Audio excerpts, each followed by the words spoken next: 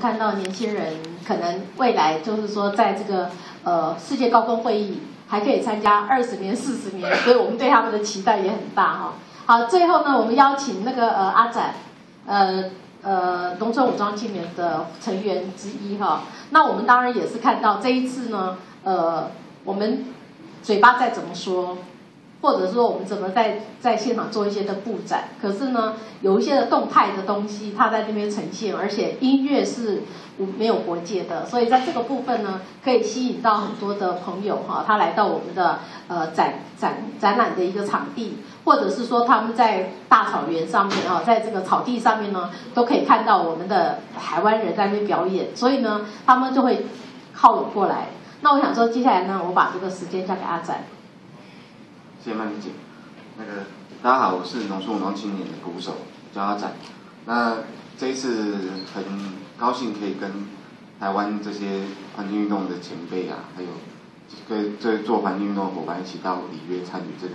世界性的大会。那在这个大概我们在待大概二十天的过程里头，其实有很大部分的时间，我们的乐团它我们乐团主要是待在穿梭在那个。呃，Real Plus Twenty 的官方大会和 People Summit 会场。那后来多数的时间，其实我们都是在那个 People Summit 那个地方。那为什么会特别的待在那个那样的一个一个环境里头？因为就像刚刚前面很多的朋友提到，就是说 People Summit 它其实是一个比较多元的、比较开放的，尤其它是一个比较非官方的一个场合。那我们在那个 People Summit 里面，其实它有很多不一样的行动慢慢发生。那因为我本身除了是鼓手之外，我本身是目前在念是社会学博士，所以我我会比较去关注在这个多元文化的这样的一个表现的形式上，尤其是他们民主参民主参与的这种开放性的表征。那在那边可以看到，就其实主要是说他们里面有很多不一样的议题，那也包含说中南美洲的国家在。面临全球化的这样的一个过程里面，他们其实有很多的比我们更直接遭遇到的一个压迫，而且是尤其是可能来自于美国资本主义，从可能六六五六零年代就已经开始累积的一个过程。那所以他们在这个过程里，尤其是发展了很多不一样议题。那当然，就像刚刚有提到，就是原住民的这一块，那他们的语言被开发，或者说被跨国的资本主义运用的这个这个过程里头。那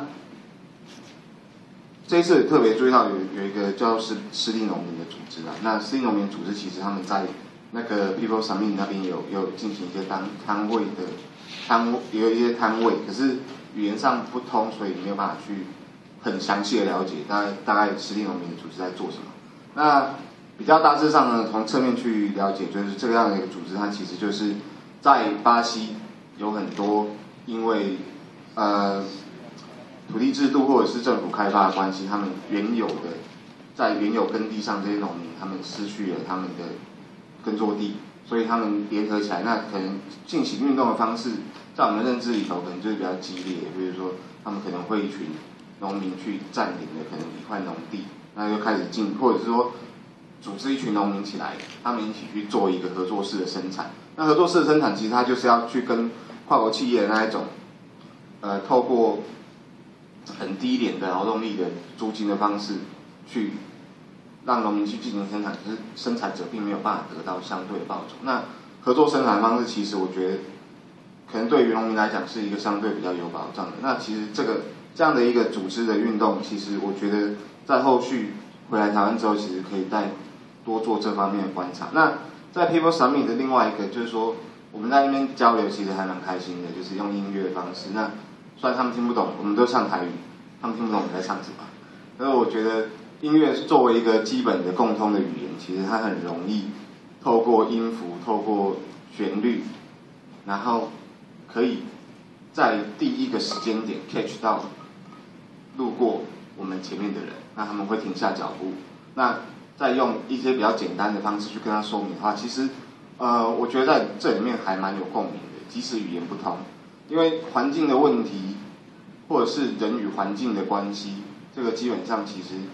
有很多的在是博士的语言里面有很多的共通点，而且有很多的情况是相同的。所以其实，在在 People Summit 里面，我们与他们发生了蛮多的交流，包含说跟这这一位是当地的一个里约的一个做音乐创作的一个黑人这样子，然后那除了跟那边的人交流之外，其实还有另外一个就是说观察到是他们那边的议题其实也是非常多元化的，它包含可能像大麻合法化也是在这个这个过程里头有被提出来讨论，或者是说。呃，他们有非常不一样，他们有非常左翼的摊位，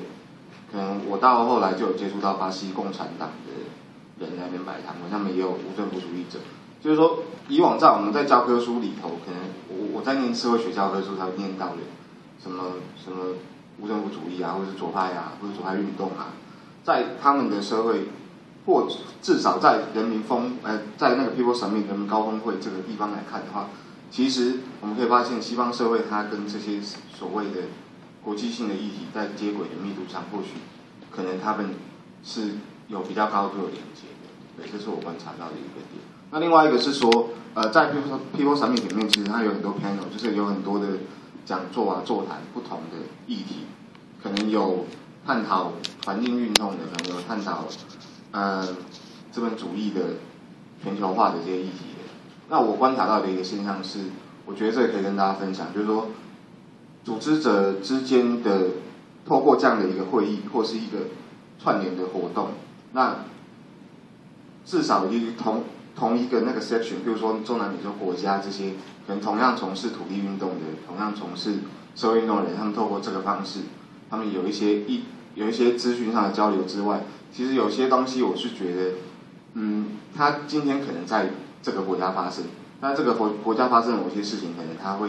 连带的去影响到你周边这些国家。那最明显的一个例子就是，我们可以回到国王石化的那个议题嘛，就是说国王石化在台湾被否决掉之后，至少现在看起来是不会动的。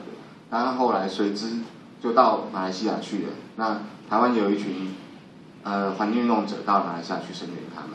所以我觉得其实民间团体的日常交流，它可以发挥力量。我觉得相对来讲，在政府可能不作为或是很低作为的同时，这是相当重要的。所以我觉得民间的日常交流，或许台湾可以在一个这个位置上，跟我们周边的国家，可能不只是日本、韩国。我我的想象比较像是可能，比如说越南、菲律宾这些台台商，尤其是台湾的工厂会去设置的。这个地方，因为我们在这个这一步上面就已经跟人家的环境、跟人家的人产生了一个互动了，对，所以我觉得在这一个点上面，或许是未来可以再去再去讨论的一种想象。好，那因为这个大游行刚刚已经苏欣有有有蛮详细的解说，所以这个部分我就不太不再多说明。那除了 People Summit 这个部分以外呢？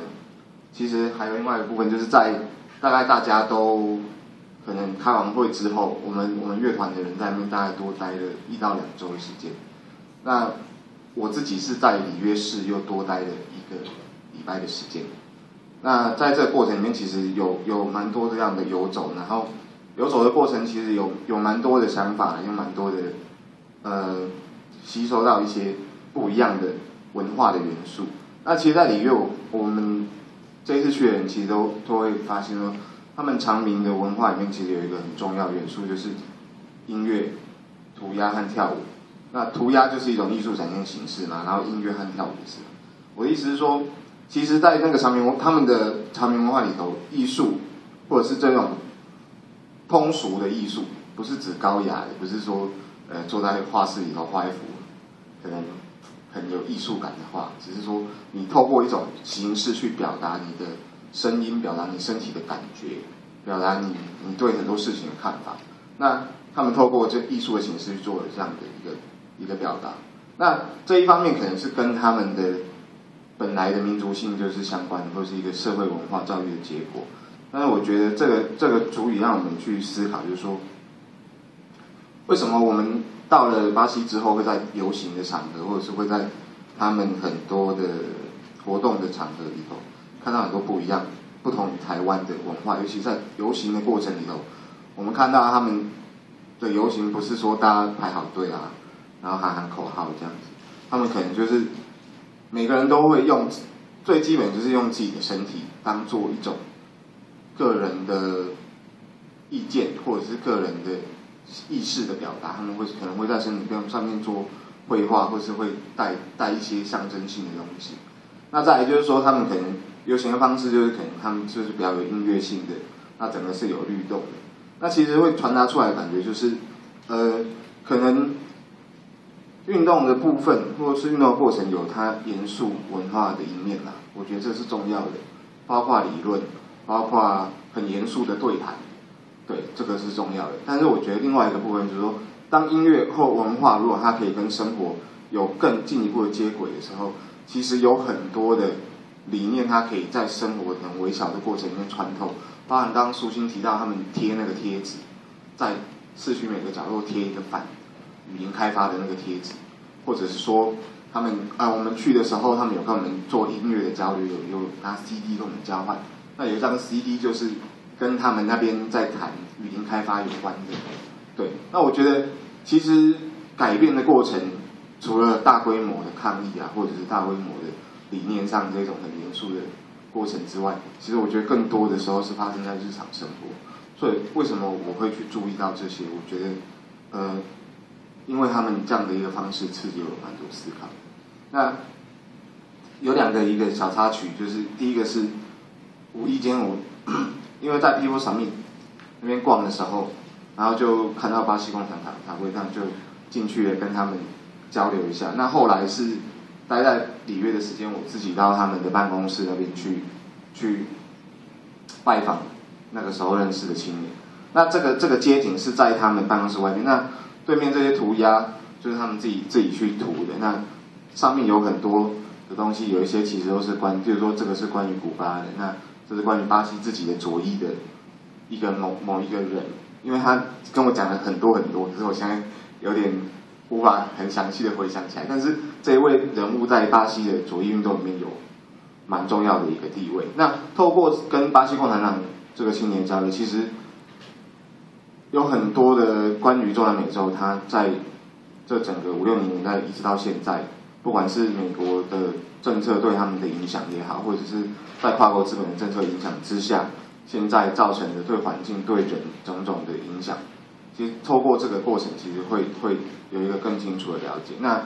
其实感觉上是非常深刻的。那另外一个就是说，在里约街头游走的时候，看到另外一个就是那个里约大学里约联邦大学学生。那这个地方，它是在里约最有名的那个夜店街叫拉帕。然后它刚好有一块地，那那块地是属于里约大学的校地。那其实里约大学他们学生可能长期。学那个空间使用不足，学校又没有办法承诺，那他们可能在几经沟通之后没有结果，就做起了搞起了这个占屋，或者是我们说占领行动这样子。那占领行动其实在国外的所谓的这个文化行动、社会运动里面是还蛮常发生或运用的一个手段。那其实他占领之后，目的不是占领，目的可能不只是说，哎，我我占了这个，你你觉得我芒刺在背，你必须要。对我做出一些承诺，其实他们还有另外一个意图，就是说他们在里面做了很多关于文化，或是让这个空间能够更加有公共性的行为。像我去的大概第二天，第一天刚接跟他们接触的时候，他们刚好在放电影，然后他们放了一部电影是有点有点朋克风格的，就是叫《教育者》嘛，然后。呃，那个电影其实大概就是在讲说，有有一群人，那他们可能绑着一个很有钱的人，然后在那个绑架有钱人的过程里面，跟那个有钱人产生很多对谈，然后对彼此的人生都造成一些不一样的影响。那重点是说，这样的一个行行为，比如说呃，他在那边放电影，然后放完电影之后有老师进去做讲座，然后或者是说他们后来在里面办了音乐的 party，那这个 party 的目的其实我觉得除了娱乐性之外啦。它其实很重要，就是说让这个空间变成不只是我们这一群学生要求说它变成校地的一个部分，他他们也希望这个空间是更加有公共公共性的。那他们在里面除了放放电影啊，或者是做音乐之外，他们可能看可以在旁边看到很多有很多涂鸦，那。他们在这个现场也放了很多展板，是展示他们学生自己自己的成果。那我觉得，呃，我想到的一个问题是说，其实，在大学教育过程里面，如何让大学生去思考那个公共性的关系，不只是说我今天站出来关心一件事情，那可能可以延伸到说我我我的教育或者我的学校跟这个这个社会能够产生一个什么样更紧密的关系。然后我觉得形式上其实也就是可以更加活化，所以音乐或者是艺术，它，呃，我觉得不只是纯粹欣赏，其实其实有还有很多社会的功能和公共的功能或是价值，是我们可以再继续的去深化，尤其是在台湾这块土地上。对，那最后是我跟他们的那个大学生可以的，好，谢谢。